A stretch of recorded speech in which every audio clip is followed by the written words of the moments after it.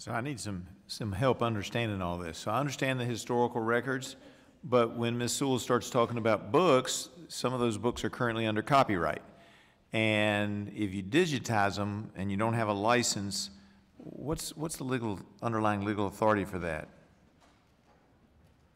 Well, We're not digitizing books under copyright, we're digitizing our records. Just your records? records. So yes. if you're, if you're doing submissions or if you're putting your, your work in, that's not going to be digitized?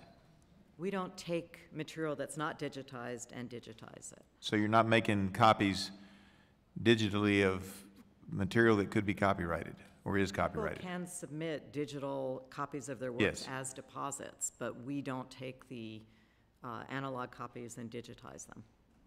Okay, and that's not a part of your plan that's coming out? No. Okay. All right. Um, and that's good to know. What, what documents do you have that you're going to be digitizing for the historical records?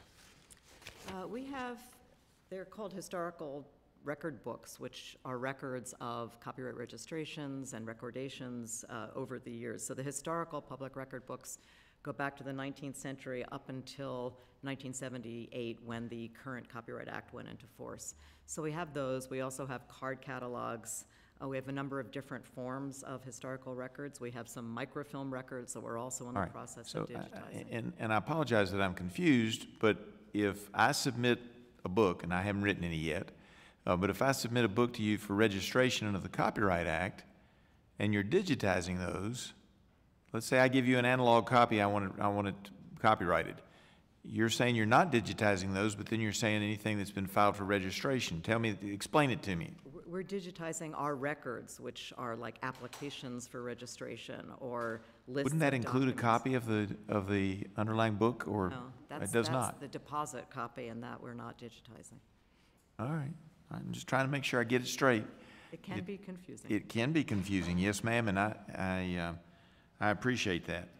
So, uh, the purpose is just so that, that the historical records can be eas- more reason, more easily accessed, and I'm fine with the historical records. Yeah, really for two purposes. One is for people who want to use copyrighted work so they can find out what's there and who owns it and get in touch with them. Uh, And the other is uh, for, for researchers. All right, I appreciate that. What else is exciting going on over there that you haven't had a chance to tell us about yet? Oh, wow. There is so much going on. It's been quite something. I, one thing that we're very proud of, uh, we set up a new copyright small claims court two years ago pursuant to the CASE Act uh, Yeah. that Congress uh, I think you mentioned that earlier, yes. And it's functioning incredibly well and getting close to a thousand claims having been filed. Uh, so it's operating very smoothly and very effectively.